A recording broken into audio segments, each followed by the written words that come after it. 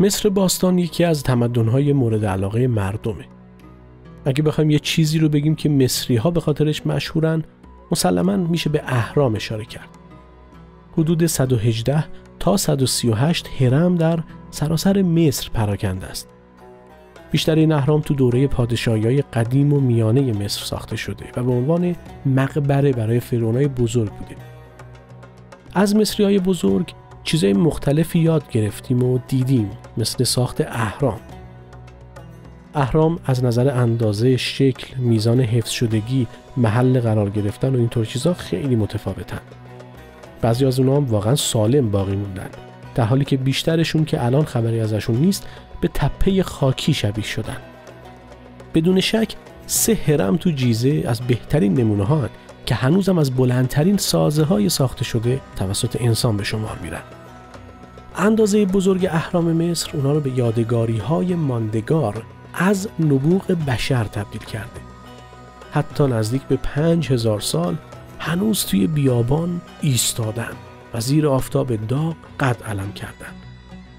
به نظر می‌رسه حتی قدرتمندترین سلاحهای امروزی هم نمی‌تونه اونا رو کامل نابود کنه. اما حالا می‌خوام بهتون بگم گفته میشه دو تا از بزرگترین اهرام مصر برای بیش از دو هزار ساله که ناپدید شدن. می‌خوایم به این سوال برسیم که چطور میشه چیزی به بزرگی یک هرم ناپدید بشه؟ چرا که واقعا یکی از بزرگترین تاریخ نویسان قدیم گفته دوتا هرم توی مصر بودن و به چشمان خودش دیده اما الان نیست. این داستان رو می‌خوایم تعریف کنیم و در انتها ببینیم این دو هرم چی شدن. پس در این قسمت از عامل ناشناخته به یکی از مرموزترین رازهای مصر می‌پردازیم. دو هرم گم شده در دریاچه موریس. داستان ما در حدود قرن پنجم پیش از میلاد با مردی یونانی به نام هرودوت شروع میشه. هرودوت در اون زمان در حال نوشتن چیزی بود که بهش میگن احتمالاً اولین راهنمای سفر جهان بوده. هرودوت مردی بود که سفر زیاد می‌کرد. البته بیشتر از مردم زمان خودش سفر می‌کرد تا سن 60 سالگی میگه که بیشتر جهان شناخته شده برای یونان رو دیده هرودوت در پایان زندگیش هم تمام چیزایی که تو سفرها شنیده بود و یاد گرفته بود و نوشت و کتاب معروفی به نام تاریخ ها رو به چاپ رسوند. این کتاب اولین قدم در تبدیل تاریخ به یک پژوهش علمی بود. به خاطر همینه که هرودوت امروز به عنوان پدر تاریخ شناخته میشه که البته چندان کتابش هم معتبر نیست چون اشتباه زیاد داره. کتاب تاریخ ها، مکان ها، مردم و داستانهایی رو که هرودوت تو سفراش دیده و شنیده بود ثبت کرده.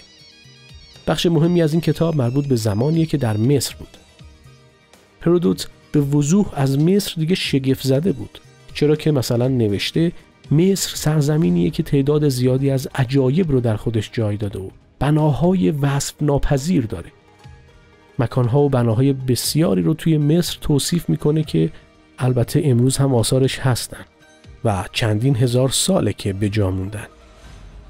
اما توی یک بخش از سفرش هرودوت به دریاچه موریس میره. اینجا یه دریاچه بزرگ آب شیرینی که از نیل تغذیه میشه. تو نزدیکی این دریاچه شهری بود که هرودوت بهش شهر کروکودیل ها می‌گفت. شهری که به خاطر کروکودیل یا تمساهای معروفش نامگذاری شده بود و مردم محلی اونا رو مقدس می‌دونستن. تو نزدیکی این شهر یک هزار تو یا بهش می‌گفتن لابیرینت وجود داشت. بنایی که هرودوت اونو عجیبتر از اهرام توصیف می‌کنه. این مکان یک هزار توی وسیع با هزاران حیات و دیوار و اتاق بود.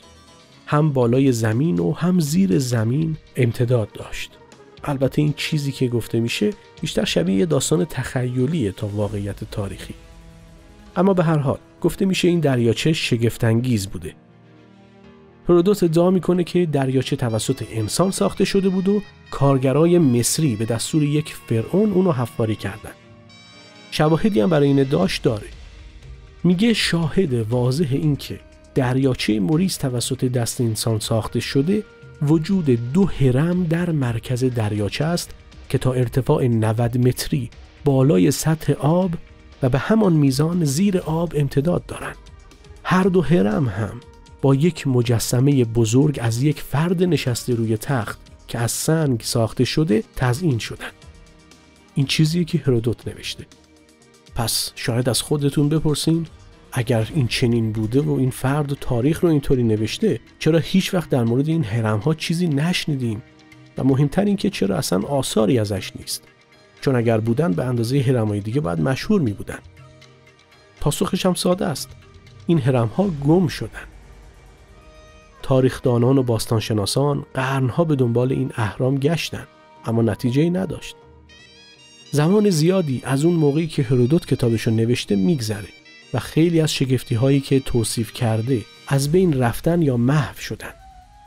حتی دریاچه موریس آثاری ازش هست و به نام دریاچه قارون شناخته میشه ولی دیگه اون موریس قدیم نیست. مثلا تغییرات رود نیل اندازه این دریاچه رو کم کرده و آب شیرینش به آب شور تبدیل شده. پس چنین اتفاقاتی میفته چون این کتاب چند هزار سال پیش نوشته شده. اما بناهای کوچیک ناپدید میشن. نه دوتا هرمی که به اندازه اهرام جیزه بزرگ بودن و تازه دوتا مجسمه بزرگ هم وسطشون بوده. مگه میشه چنین بنای بزرگی به طور کامل ناپدید بشه؟ داستان اینجاست که احتمالا توی چنین کتاب تاریخی اشتباه وجود داره. یعنی متاسفانه احتمالا این هرم ها اصلا وجود نداشتن. یا شاید حداقل اون چیزی که هرودوت تعریف کرده این نبوده. هرودوت گفتیم تو کتابش اشتباهات زیادی داره. خیلی از توصیفاتی که گفته با گذر زمان نادرست در اومدن. مثلا هرودوت ارتفاع هرم بزرگ جیزه رو گفته 245 متر بوده در حالی که ارتفاع واقعیش نزدیک به 140 متره. و البته این درسته که در طول این چند هزار سال به خاطر فرسایش ارتفاعش کم میشه ولی نه 105 متر کم بشه. دریاچه موریس برخلاف ادعای هرودوت یه دریاچه مصنوعی هم تازه نبوده بلکه یک مخزن طبیعی بود که مصریای باستان فقط کمی اون رو تغییر دادن. این هم یکی از بسیار اقراق ها و اشتباهاتیه که تو کتاب تاریخ ها دیده میشه. البته می‌خوام اینجا از هرودوت هم کمی تعریف کنم. بالاخره اشتباهاتش عمدی نبوده. هرودوت وقتی که به مصر سفر کرد دوران اوج مصر رو داشت می‌دید. خیلی از بناهایی که می‌دید هزاران سال قدمت داشتند و قبل از فروپاشی اصر برون ساخته شده بودند هرودوت خودش اعتراف کرده که نمی‌تونم هایروگلیف های اون نوشته های مصری رو بخونم. به خاطر همین به گفته های راهنمایان محلی اعتماد کرده. در این مورد وقتی راهنمایان محلی ارتفاع یک چیزی رو گفتن او هم باور کرده و گفته آره حتما درسته. اما در مورد هرم های دریاچه موریس باستانشناسان بقایای یک بنای بزرگ رو در کنار این دریاچه پیدا کردند. اما این بناها پایه های منطقه بهامو هستند که نزدیک شهر فیوم یعنی همون شهر کروکودیل ها قرار داره.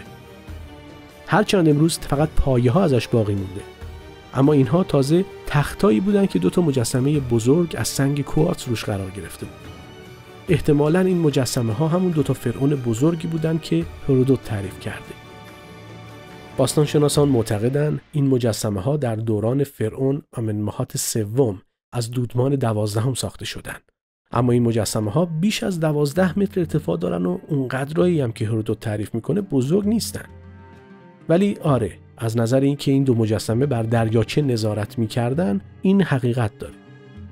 اما در نهایت اون اهرامی که احتمالا هرودوت دیده یک اقراق بوده. شاید هم دچار یک خطای دید شده. چرا که در زمان قدیم اهرام مصر در اصل با سنگ سفید پوشیده شده بودند. که مثل آینه درخشان بودند و به شکل اهرام امروزی نبودند در فاصله دور به خاطر انعکاس نورها طوری دیده می شدن که اندازه بزرگتری پیدا می کردن. احتمالا هرودوت یکی از بناهای موقتی که اونجا ساخته شده بود رو به شکل هرم دیده.